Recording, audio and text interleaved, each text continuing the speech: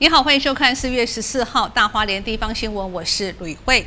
地震过后呢，目前还有新加坡夫妻两个人失联，而搜救行动第十二天持续进行当中。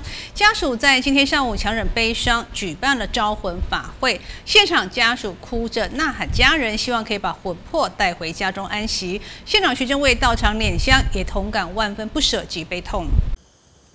一对澳洲籍新加坡夫妻四月三号前往泰鲁格国家公园游玩，地震发生之后失联。影像显示，两人坐观光巴士在沙克党站下车。搜救小组根据时间地点来判断，地震发生的时候，两人可能在沙克党步道约一点五公里处的五间屋附近，应该处也是崩塌点。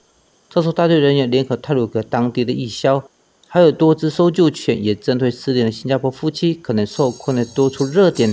持续停进搜索，不放弃任何的希望。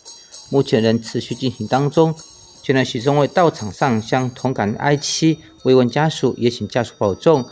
祈愿借由法会拔剑超度罹难尊灵，愿罹难者安息，生者安心。更祈求神仙佛圣、诸佛菩萨帮助接引罹难者离苦得乐。欢迎我们政事处长明良珍、消防局长吴兆元、消防局特殊大队等多位成员。